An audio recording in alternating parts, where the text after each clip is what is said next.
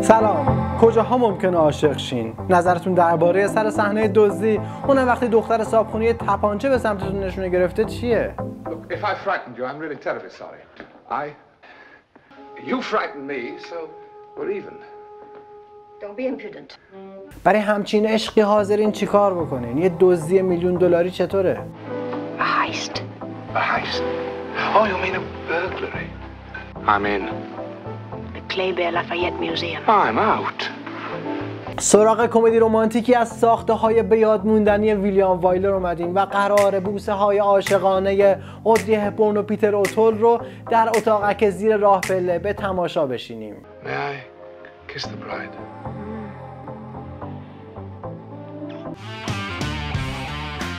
اتفاقات چگونه یک میلیون بدزدیم در پاریس میگذره و ما یک بار دیگه اودری هپبورن رو در هتل ریتز پاریس ملاقات خواهیم کرد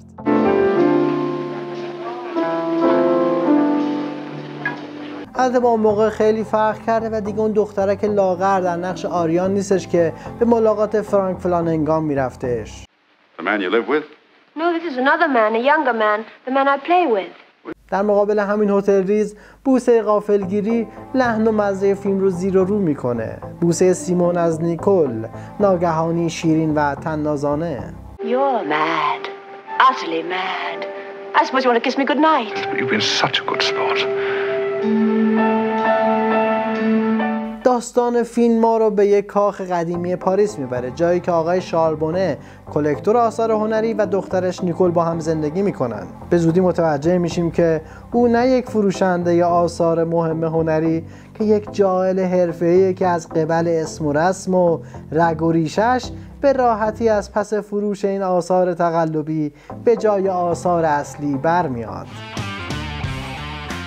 شاربونه در حالی که مشغول جعل یکی از آثار ونگوکه مجسمه ونوس یا زهره که ساخته چلینی باید باشه ولی اونم جعلیه رو در اختیار موزه لافایت فرانسه قرار میده تا به نمایش عمومی در بیاد نمایشی که اعتبار او رو هم جهانی می‌کنه 100,000 souvenir postcards all over the world. Our Venus.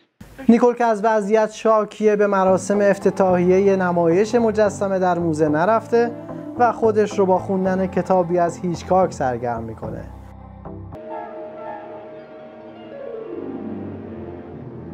صحنه خیلی زود به فیلمی هیچکاکی تبدیل میشه تا وایلر نشون بده درس های استاد رو درست خونده. نورها و سایه ها در هم میره. صدایی از دل تاریکی دختر رو حراسون به پله ها میکشونه و او برای مقابله با تهدید احتمالی یه تپانچه عتیقه از دیوار بر میداره و دزدی که در حال نمونه برداری از تابلوی ونگوکه رو به دام میندازه.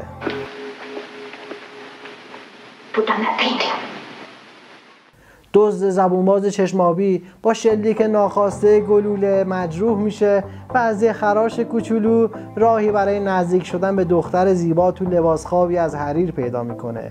اینجاست که سیمون درموند کاملا شبیه خود پیتر اوتول میشه مردی که خوب بلده در هر وضعیتی دلبری کنه. بهانهگیری سیمون نیکل رو به ماشین گرون قیمت او و سپس در سرای هتل ریتز میکشونه تا با بوسه خداحافظی غافلگیر کننده دختر رو سوار تاکسی به خونه برگردونه 38 Rue Parmentier. Drive carefully. ما متوجه میشیم که این دوز در اصل یک کاراگاه مخفی آثار هنری و به نوعی کارشناس خبره است که برای رو کردن دست شاربونه استخدام شده اما دل این آقای جذاب و گستاخ جای گیر می‌کنه و به جای تعقیب آثار هنری و شاربونه به تعقیب دخترش نیکل مشغول میشه Sorry.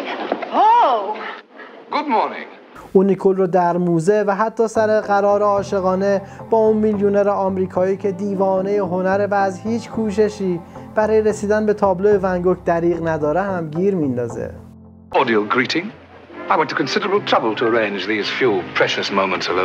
اما ماجرا تازه زمانی به اوج خودش می‌رسه که موزه یه قرارداد بیمه برای شاربونه میفرسته که قرار مجسمه رو یک میلیون دلار بیمه کنن. اونم با وجود همه تدابیر امنیتی ویژه.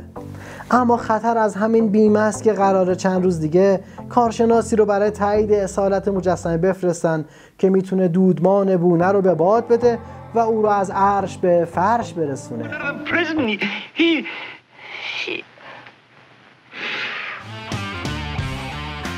بقیه ماجرا رو خودتون ببینین بهتره. بریم یه نیم نگاهی به لیست بازیگرا و پشت صحنه بندازیم که اونجا اتفاقات داغی در جریان بوده. حتی داغتر از جلوی دوربین.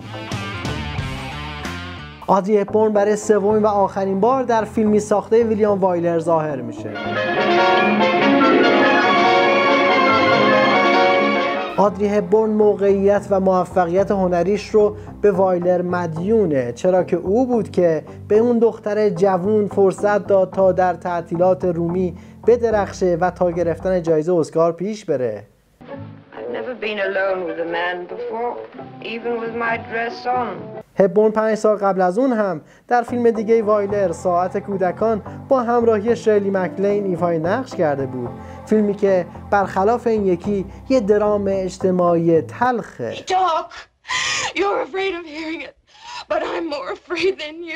ما او رو در قابهای پاریسی زیادی به یاد میاریم. حتی دو سال قبل از تولید این فیلم هم در فیلم پاریس وقتی میسوزد با ویلیام هولدن و تونی کورتیس در همین موقعیت قرار گرفته بود.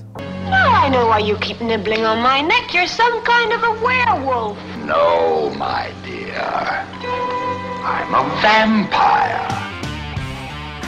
در نقش مقابل او پیتر اوتول قرار گرفته کسی که ما او رو بیشتر با لورنس عربستان می‌شناسیم اگر سالها لئوناردو دیکاپریو رو به عنوان ناکام بزرگ جوایز اسکار میشناختیم به این دلیل بوده که اوتول رو از یاد بردن او در طول دوران طولانی بازیگریش هشت بار نامزد دریافت اسکار شد و هر بار ناکام بود. از سال 1962 تا 2006 یه ناکامی ناتموم. البته در سال 2002 یه اسکار افتخاری برای یک عمر تلاش دریافت کرد.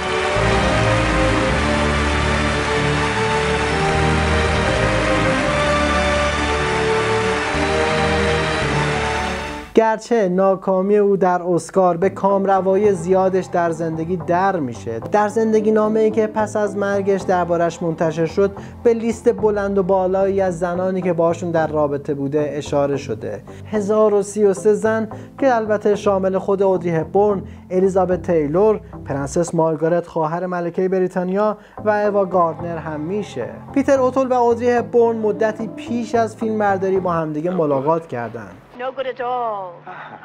هپبورن اگرچه اون زمان با مل فرر ازدواج کرده بوده اما با پیتر اوتول وارد رابطه میشه او در اولین ملاقات به اوتول گفته بود فکر می‌کنه یک بازیگر زن باید حداقل کمی عاشق بازیگر نقش اصلی مرد فیلم باشه و بالعکس اونها در هتل ریز به رخت خواب رفتن و این رابطه داغ عاشقانه در طول فیلم برداری ادامه پیدا کرد تا زمانی که در دسامبر 65 هپبورن متوجه شد بارداره و چون نمی‌دونست پدر بچه کدوم یکی از این دو مرده سخت جنین کرد. این دو در هیچ فیلم دیگه هم بازی نشدن و رابطه عاشقانهشون هم علی رغم اصرار پیتر اوتول در همونجا به پایان رسید. هیو گریفیث بازیگر سرشناس ایرلندی نقش شاربونه رو بازی می‌کنه. مرد شیادی که معتقده این کلاهبرداری و جعلش چون از جیب میلیونرهاست عیبی نداره. شاربونه دو تابلو ونگوک فروخته در حالی که خود ونگوک در زندگیش فقط یه تابلو فروخته بوده.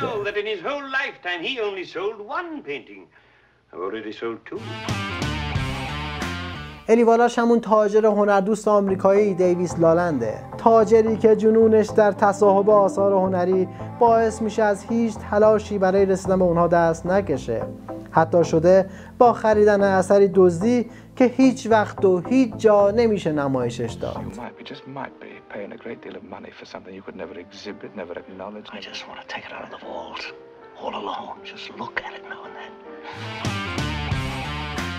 در این فیلم بار دیگه شاهد همکاری اودری هبورن و جیوانشی هستیم و این همکاری حتی خودش رو به یک دیالوگ می‌رسه. اونم در جایی که او لباس یک نظافتچی رو پوشیده.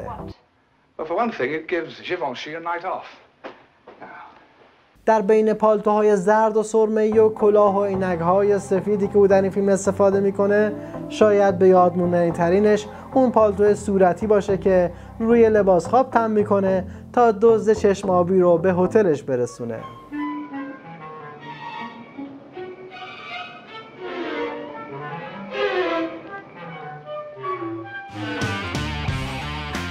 چگونه یک میلیون بدزدیم اگرچه از شاهکارهای وایلر حساب نمیشه. اما در زمره فیلم های بسیار تحسین شده و محبوب ژانر خودشه. اگرچه داستان فیلم از کلاسیک هایی با موضوع سرقت مثل تاپ کاپی آریه گرفته شده اما این داستان سرقت در لایه دوم ماجرا قرار می‌گیره. سرقتی با یه آهنربا یه سیم انبر و البته بومرنگ که بیش از هر چیز به ذکاوت سارقان و کلافگی نگهبانان وابسته است. حتی لباس های فاخر هبورن و پیتر هم چیزی از سادگی عاشقانه فیلم کم نمی‌کنه و شوخی های سرزرب و بدون لحن بزلگویی همه چیز رو واقعی و جریان عاطفی رو روون می‌کنه. رابطه داغ هبورن و اوتل در پشت صحنه با همه حرف و حدیث ها و دلخوری های همسر هبورن لاقل در برابر بیننده به شیمی فوقالعاده دو بازیگر اصلی منجر شد تا یک کمدی رمانتیک با حس های بسیار قوی شاهد باشیم. با چند سکانس به یاد موندنی این ولاگ رو هم به سرانجام برسونیم. مواجهه نیکل با ماشین آقای دزد و محل اقامتش یه سوالایی درباره میزان درآمدش ایجاد می‌کنه. The robbery business must be pretty good. I can't drive a stolen car. Same principle. Four gears forward, one reverse. All right, where to? The Ritz. You're a very chic burglar, aren't you?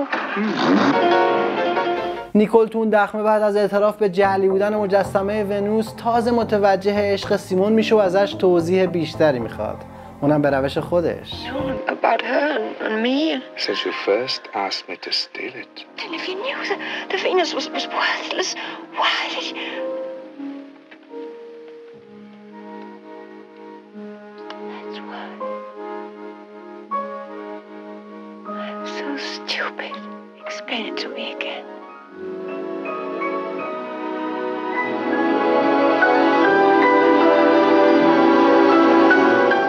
دخترک شجاعت آقای دوز زخمی رو زیر سوال می‌بره و او خودش رو یک دزد اجتماعی معرفی می‌کنه که توقع نداره مردم بهش شلیک بکنن دامنی که نیکل توی این صحنه پوشیده بعید از کار جیوانشی باشه? For a burglar, you're not very brave, are you? I'm a society burglar. I don't expect people to rush about shooting me. امیدوارم از تماشای این ویدیو لذت برده باشین و بقیه ویدیوهای پلیلیست سینمای کلاسیک رو از دست ندین